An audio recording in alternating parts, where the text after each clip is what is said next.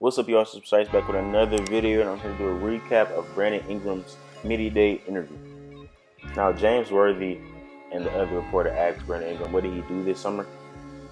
And all he said was visit family in North Carolina, his birthplace, and just play basketball. He doesn't really go out a lot, even though he's in LA. But when he was in LA, he just plays basketball and just be in the gym. And this isn't a surprise to me because BI is a very hard worker, as he's shown this past offseason and the offseason before. His main stress this year was to be consistent. And he's kind of struggled last year with being consistent. So some months he'll average 17 points a game. In December, I think he averaged 17 a game. And then January, he had a very rough January month. But in February, he averaged 18 points a game with five assists and five rebounds, shooting 50% from the field and 50% from three-point range. And usually for young guys to show if they're going to improve the next season, you have to look at their later months or post All-Star break. And Brandon Ingram post All-Star break numbers are very good.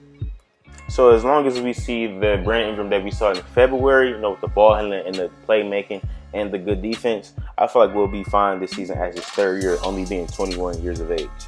So obviously everyone knows that Brandon Ingram worked out with Michael Lancaster. Michael Lancaster worked out with Victor Oladipo, Kyrie Irving, Karl-Anthony Towns, and many other great NBA players. And the main thing he said working for him himself is to get his body right because I think he only played like 59 games last season. So he wants to be healthy throughout the whole season to help the Lakers win. So he just did stretches. He everything that nagged in his body, he rolled out. He helped with his trainers and stuff. And despite the frame, Brandon Ingram has been in the weight room. I don't know his exact weight right now, but he has been in the weight room every day, as he said. And with this comes that he's very confident. And you can see how Brandon Ingram talks to the media that he's just a different player than he was last season and the year before. He's not as quiet and timid as he was.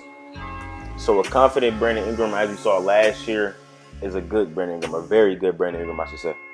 One of the things Bi struggled in the NBA is three-point shooting, and Brandon Ingram said that he never really struggled with this, you know, throughout his whole life playing basketball, basically. So basically, part of the dreams, he's been doing a lot of off-ball work, you know, catch and shoot. Obviously, playing off LeBron James and Rajon Rondo, and a lot of pass-first players. So that was the main thing he tried to get down this season: repetition, you know, in the gym and game speed mostly. And James Worthy asked what type of player Brent Ingram hopes to be this season, and he just basically said that he wants to do everything like he did, you know, last year, a Swiss Army knife type of player. He can pass, rebound. He wants to improve his defense, his shooting, his off-ball work, and his on-ball work basically Bi said that this season, this is it. This is the season that he shows everybody. He puts on a, a show for everybody in LA. He said he's going to be guarded by the second best player. I mean, that confidence is just oozing right off him. And I feel like he cook any team second best player on the offensive end coming this season, even though he's only going to be 21 years old. And a lot of people are skeptical as who's going to start Kyle Kuzma or Ingram. I feel like they're both going to get a lot of minutes, and I'm pretty sure Ingram is going to start.